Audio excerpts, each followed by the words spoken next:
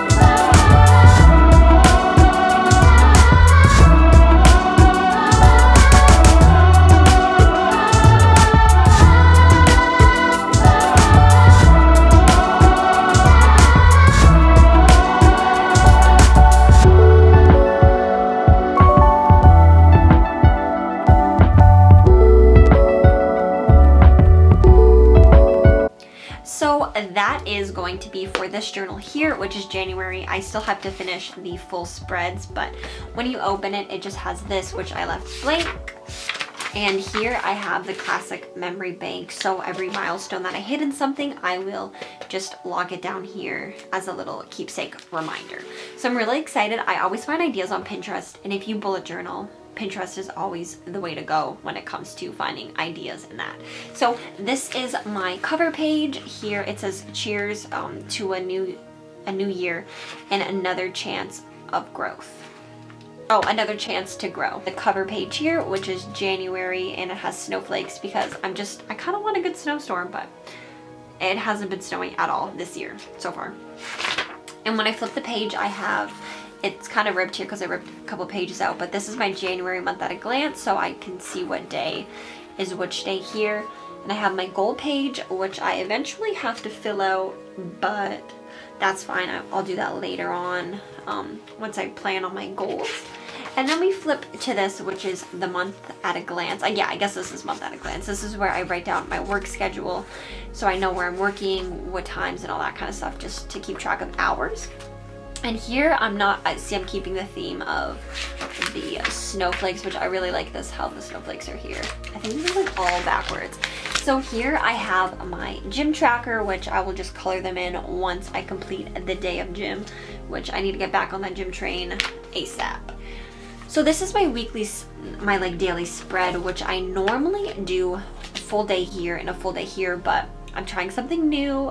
January is going to be all about trying new things, which is scary, but that's what I'm going to do. So I have um, four days here, and that's what I'm going to do. So I have my to-do list here, and I like to track my food. So that's just at the bottom. Really simple. I want to keep it simple and not so, you know, crazy because I kind of get out of hand sometimes when that's all I want to do. I just want to do fun, crazy, overload, you know. I'm trying to do the minim minimalist thing, which is, I'm going to do my room like that as well. So that's for my monthly spreads are in this purple book, so I'll be able to do January, February, March until I can go, I guess. I don't know how many months I'm to get out of it, but that's that. And then this guy, what we're to do, I think we're just to do lists. I'm to just probably go on Pinterest, see what I can find, and that's what this guy will be about. So I'm super excited. Um, That's what you're to see next is me planning out this journal, and then I'll walk through it as well.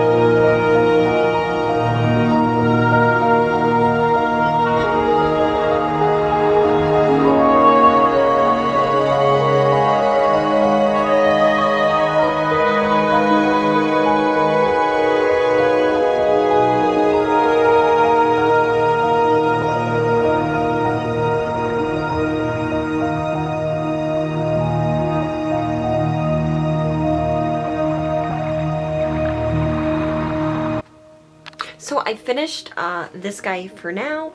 I still have to add a lot of YouTube stuff, but I will do that later on. I just wanted to get this video up for you guys. But in this one here, I have mostly it's going to be YouTube stuff like I said, but a lot of lists. So the cover page says, we love a list, because I do, I love a list, I love to check things off. I have something that says oh, what's on Netflix, and this is just pretty much everything I want to watch on Netflix.